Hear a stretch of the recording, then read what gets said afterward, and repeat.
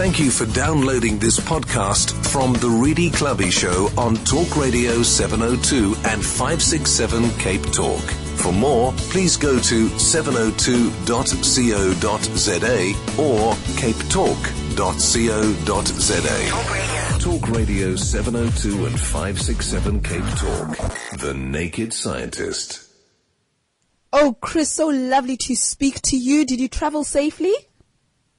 Uh, well, up to a point, Redi, because South African Airways saw fit to send me home, but they thought my luggage needed to spend a bit more time in South Africa. Everyone oh. should spend a bit more time in South Africa, but when you've got a conference to go to and you're going to go there without any of your bags, it's a little bit inconvenient. Oh, Hopefully no. they'll turn at some point. I never had this happen before, actually. It's a bit of a shame, but um, yeah. Oh, so I'm, I'm in the same pair of clothes I've had on for a day or so now, and uh, you know, I'm getting quite so the, the luggage hasn't arrived. Hasn't Uh, arrived luggage didn't turn up, no. And um, apparently it spent some time in Cape Town, but hopefully we'll be here today. Fingers crossed. Oh no, Chris, that's absolutely terrible. Please let us know if there's anything we can do. Maybe follow up with somebody. I don't know if you have a reference number. If there's someone we can call from here just to speed things up.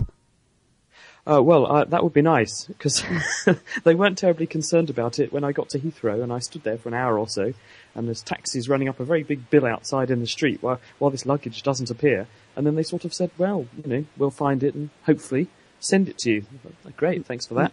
No, that's absolutely unacceptable. I mean, we have no control over what they do, but certainly we can sp- put the spotlight, call someone, send the reference number, and just make a bit of noise uh, about it. I'm sorry that you've experienced it, and if anyone has experienced it, you would know how uncomfortable it is. And Chris, I always, always, always uh, get so so cross that it, it, it happens when you're traveling a, a great distance, not when you're traveling from Joburg to Cape Town. It happened to me when I was traveling from South Africa to Indonesia, and my luggage arrived the day that I was returning home. So what's the point? no. you know? Ah, no, that was, and you know how small those women are. So to go and shop, I couldn't find, I couldn't find my size. I'm sorry about that, Chris, but uh, we'll speak off air and see what we can do. Okay, so cochlear implants um, have restored hearing uh, to many deaf people. In fact, we had a caller uh, yesterday who talked about his son who is deaf and some of the research and, and, and investigations that they are doing. There's some new developments here, Chris. Well, there's a really interesting paper that's come out showing that you can use a cochlear implant to do gene therapy in the ear and improve the sensitivity of the ear to the cochlear implant itself and therefore improve hearing. Now, this is the work of Gary Housley, who's a researcher at the University of New South Wales in Australia, and the paper's in Science Translational Medicine this week. And they've done this work in guinea pigs because there is a guinea pig equivalent of a cochlear implant that can be used for test purposes. And what they've shown is that if you make a small piece of DNA which has a gene in it, which is a growth factor for nerve cells, that gene is called BDNF, a brain-derived neurotrophic factor. If you inject that into the inner ear and then thread in the cochlear implant, you can stimulate by generating an electric current with the cochlear implant the cells along the cochlea, which is the organ of hearing. This encourages the cells to become much more permeable to the short piece of DNA you've put in. They take it up and they then begin to make that growth factor, which they then secrete locally and nerve cells in the cochlea whose job it is to, to send the information about the sounds that are being picked up to the brain, those nerve cells put out far more connections and what we call neurites, little extensions of the nerve endings, which makes them much more sensitive to the signals that are normally produced by the cochlear implant. And what the researchers are saying is that it might be possible to produce even smaller, higher resolution cochlear implants with far more electrodes because you could put in far less electricity to stimulate these much more sensitive nerves. And this means that the quality of the hearing experience for people with a cochlear implant would be dramatically better. And in their guinea pig experiments, that's exactly what they show, that the threshold for hearing in their test guinea pigs is at least 50% better than the animals that haven't had this particular intervention. So it's really important. Chris, are you still with us? Yes, indeed. Yeah. I was- Okay, I- okay, I we was- keep losing you. We keep losing you at some Yeah, point. sorry Okay. All right, and uh, you've told us about what this uh, new research uh, is significant and why uh, deaf people, the deaf community needs to be excited about it, I suppose. But you've got something else on coral reefs. Yes, that's right, really. So one of the other big concerns in the last decade has been that people have shown that as the temperature of the ocean rises, that corals don't take kindly to this and they undergo a process called bleaching. And this is where, for some reason, the corals get stressed and they eject these photosynthetic algae, the tiny organisms that capture sunlight and then feed the energy from the sunlight as a form of chemical food into the coral. The corals get too hot and they chuck out the algae and then they bleach and this can kill the coral. And so one of the big concerns is with climate change and ocean temperatures rising, can corals keep up? Can corals adapt fast enough? There's a paper in Science this week by Stephen Palumbi, he's at Stanford University, and they've done a very interesting experiment in the US National Park of American Samoa. There's a place called Ofu Island, and just because of the way the island's arranged, there are some pools of water which are left behind when the tide falls, and some of these pools get very, very hot during the day when the sunlight shines on them. They get to, say, 35 degrees, which is way beyond the temperature at which corals would normally bleach at. So this has given them an opportunity to study corals which are in these pools and corals which are closer to the sea, which don't have the same temperature departure. And they've done a very interesting experiment where they take a bit of coral from one of the pools and transplant it to the other and see if the coral can survive or tolerate it, and if it does, what does it do genetically to make that switch? And they were looking at a particular type of coral called Acropora hyacinthus, and this is a tabletop coral. It forms reefs all over the Pacific Ocean, so it's very common, very important coral. And they found that actually the corals can survive this transplantation, and they do seem to be able to change which genes they have turned on in the coral, uh, making them increase their expression of various factors that increase the resilience of the coral. And they do caution that this is just one species of coral, and we don't know what will happen with other corals yet. Um, and there are other problems, such as if the ocean also becomes much more acid, which we think it will with, with uh, increasing CO2 in the atmosphere, and pollution being present, that may also stress the system more.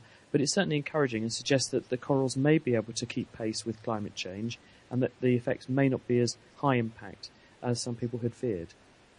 Our lines are open for you. What do you want to ask Chris? What do you want to ask the Naked Scientist on 021 446 0567 011 883 0702. We are taking your SMSs as well on 31702 and 31567. Give us a call. Anything that you want to ask, we're taking your questions. Richard in Cape Town, hi. Hello, hello. Um, I just wanted to ask Chris. I read an article recently about a gentleman in America who had a bionic eye installed. Um, and it's apparently working quite well. And I just wanted to ask Chris about that, how it was made. So it doesn't make sense to me. I'll listen on the radio. Thanks. Hi, Richard. Well, the answer is that this is actually becoming more commonplace.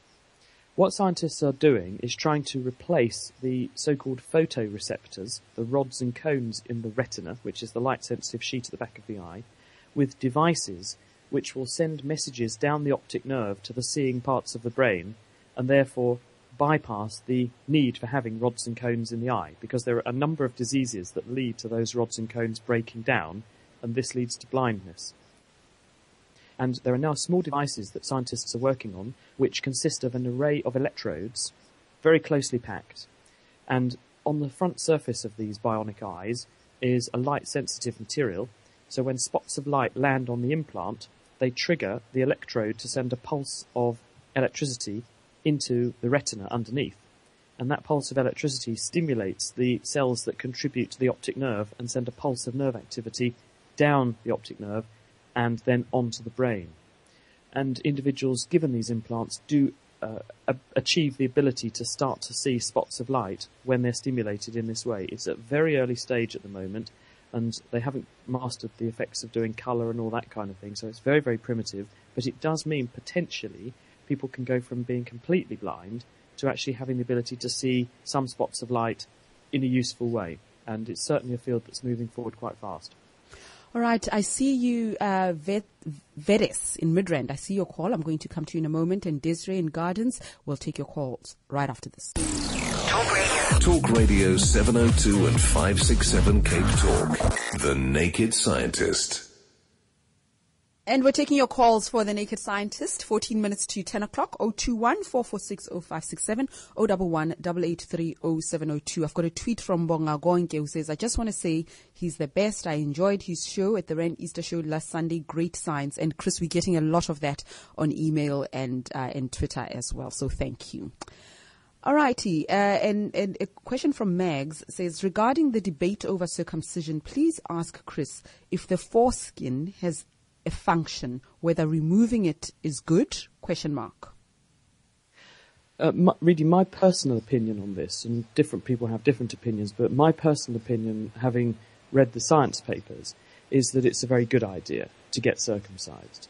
Um, I personally believe it's a lot more hygienic, and I also am of the opinion that the evidence is that this this strongly reduces the risk of, picking, of acquiring things like uh, HIV and other sexually transmitted infections. So I think it's a good idea for a range of different reasons. Other people have their own opinions, but the science strongly suggests that actually it's a beneficial procedure and probably best done uh, at a very young age because the healing time is very, very small.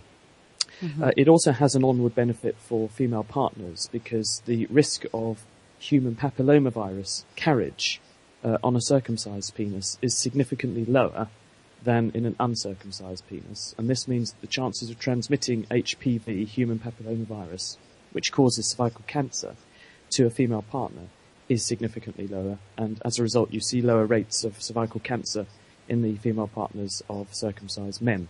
So my my opinion is that it's a good idea, uh, especially in the current situation where we have things like H- HIV, which are very very common in the population, and and relatively easy to transmit via sexual route, and that this has maybe a 60 to 80 percent protection rate if you're circumcised. So I think it's a good idea. Let's go to Rosemary. Rosemary in Cape Town. You have an interesting question. Welcome. Hi. Mm. Um, Chris, I'd like to know what do you think was the greatest scientific discovery in the last 20 years? Well, I think there's a range of different answers to this, but I would certainly say up there with the best of them is mm-hmm. our ability to read genetic material very, very fast. And the reason I say that is that we've gone from a time when, when I first was, uh, if you were to try to read some genetic sequence, you might read a few hundred genetic letters at a time, to a stage where we're now able to read the genetic blueprint of a whole organism in under a day. And why this is important is we're beginning to understand diseases with these sorts of techniques far more closely because we can actually interrogate what is happening when a person catches a disease. We can read their genetic material and ask how does it change their genes? Why is that person susceptible to that disease? Or if you go to a bug, you can say, why does this bug make some people ill and not others? And the answer must be mm. in the hmm. DNA. So we're now able to, to study a whole raft of different disorders, infections and cancers this way. And this is leading to new discoveries in terms of how drugs work, how to, excuse me, how to develop the next generation of drugs and so on. So certainly up there with the best of them would be genetic sequencing. Um, that would be my number one pick, I think. Vedes in Midrand. I hope I've said your name correctly. Good morning.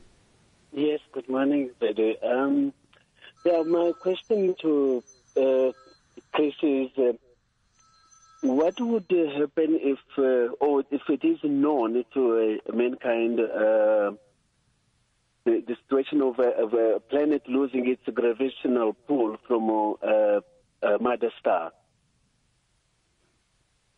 If Could that you has just, uh, ever just been recorded. Yeah, I also didn't understand of here. Vedes, what are you asking? Has there ever been a case of a planet? Oh yeah? Yes, a planet, yes. That Losing has lost... its gravitational, yes. A pull from the mother star, I mean, from the sun, or, you know, which is the mother in this case. Uh, uh, the situation of a, of a, um, of a solar uh, system. Okay, I think if there's get... ever been a planet that lost its, uh, its uh, gravitational interconnecting pull the connection yeah. to, uh, to its its connection to to to the to the star. You're talking about the sun in particular. Yes. And okay. what I think I understand what he's getting. Is, is yeah. Um, okay, I get it. I get it. There Chris? are planets out there which are called rogue planets, and they're very hard to detect. But yes, there are planets which are wandering in a lonely way through space, and we associate most planets with being in orbit around a star. And we spot those planets because the light from the star falls on them and reflects and we can see them. But scientists in recent years have begun to be able to detect these planets which appear to be on their own traveling through space. And there's a number of ways how this could happen.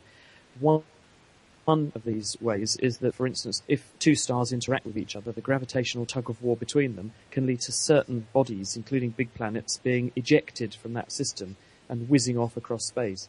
And they're quite hard to spot because they're often quite cold and that means they don't emit any heat energy or very little heat energy, so there's not much light coming from them for the scientists to see.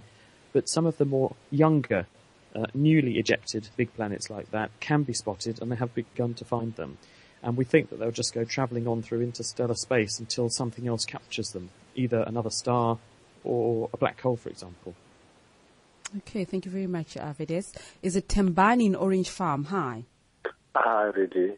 Mm-hmm. Uh, there's something I've noticed. If you go to a rest room and then make some few drop up drop drops, then there's a bit of a smelling usually, no? Then if you strike at uh, matches, uh, that thing it seems to be diminishing. Could um, uh, the scientists explain what? okay, going so, on? so so striking a match and that smell uh, kind of uh, dissipates a foul smell somewhere. That's that's right. Okay, Chris. well, the idea of that, you know, if you foul the air in someone's bathroom, you could, you know, light a tissue or something, or, or light your lighter. The idea is that, that some of the chemicals that contribute to the nasty smell are volatile chemicals that are whiff, wafting around in the air, but which also are combustible. And so if you wave your lighter around or a match around, then you might be able to break down some of those chemicals. I think it's more likely, though, that you'll be invoking the phenomenon of masking. Effectively, you're making a, a bigger smell than the smell that you found ah. disagreeable. so you're more likely to notice the bigger smell, which is less disagreeable, because there's more of it, than the more subtle, more unpleasant smell that you were trying to hide. and I think that's probably more likely to be the mechanism. Okay, thank you very much. It's amazing what uh, interesting questions people come up with. Thank you very much, Timbani. Uh, is it Des- De- Desi in Gardens? Desiree, Yes. hi. Good morning. Hi. Um, Chris, I have a question for you. I'm a singing teacher, and I have um, for a long time thought it would be wonderful to find some kind of a device. You were speaking about hearing last week that could help to, with, with frequencies, with sound waves, to help um, pupils who can't pitch or, or people who cannot sing in tune. Is there such a device, and is, is it a feasible thing? could it be to help? Because, I mean, you can bang away at the piano for hours, but they'll never get the tuning right. Is there something that would work with the inner ear? I think it would be fairly radical, Desiree, to, to have a device that you could implant to help people sing better. No, not to implant, Just- but just something that you could put on, perhaps, that inter- intercepts it or, or no? I see what you mean. Um, most people do this, as you know, by uh, singing a note and then they play the note on the piano and see how close they are or how off they Yes, they but are. you can't and they get try it right. to, to learn. Uh, I agree, and I'm I'm not sure that there's any such device which, in people who lack that ability, because what you're trying to do is to picture in your mind, in the same way as if I imagine ask you to imagine the color red, then you could see a sort of red spot in your head. Um, you're you're asking your pupils to imagine a note and then produce that note with their voice. And so you've got to take an imagined concept and then make a motor movement. You've got to have the right muscles and the right tone in your vocal folds in order to produce that sound. And there's therefore two ways in which it can go wrong. One, they can imagine the note wrong and then play, effectively set their muscles up wrong. Or they can imagine the note right and still set their muscles up wrong. And the people who get it right have a very good ability to picture that note in their head, imagine what they want it to sound like, and then make their vocal cords set up just right so the right note comes out. And some people just seem to be able to do this incredibly well without really thinking about it. Others find it really, really difficult. And, you know, there, there are some of us who can sing a bit, but as soon as you put us in a choir with someone with a very loud voice next to you singing a different of music, Yeah. trying to find the right note that you're supposed to be singing for your line of music is really hard, and I really struggle with that. Whereas other people are really very good at it, and they, they just they picture in their head what it's going to sound like, and they just go straight in there and sound great, regardless of what everyone else around them's doing, which is probably a good thing in my case. Chris. Thanks, Desiree. Let's go to our last caller. Is it Chris in Krugersdorp? Yes. Um, I just want to know if is it true that when I pour petrol in the morning, I get more out of it than if I do pour in the afternoon? Pouring. Okay. Okay, I think what you're possibly getting at is the thermal expansion, because when things get hot, they take up a bit more space. And so I suppose you're right that if you were to pump your petrol in the morning when it was very, very cold, then there'll be a, a smaller um, volume to the petrol, take up less space, and so more would appear to go through the pump than if you were to pump it when it was a bit hotter and therefore had thermally expanded a bit. Um, so there will be a subtle difference. Yes, an interesting question. Uh, it, were you were you to try to save the South African economy with this strategy? I think mm-hmm. you'd probably be onto a loser because the difference is going to be absolutely tiny at a, at a, a, practical level. But you're absolutely right. The thermal expansion means that in the morning the pump will think it's pumped a little bit less fuel than it than it effectively will in the afternoon because it'll expand and take up a bit more space in your tank when it's hotter. Ah, very nice. Chris in Krugersdorp, thanks for the call.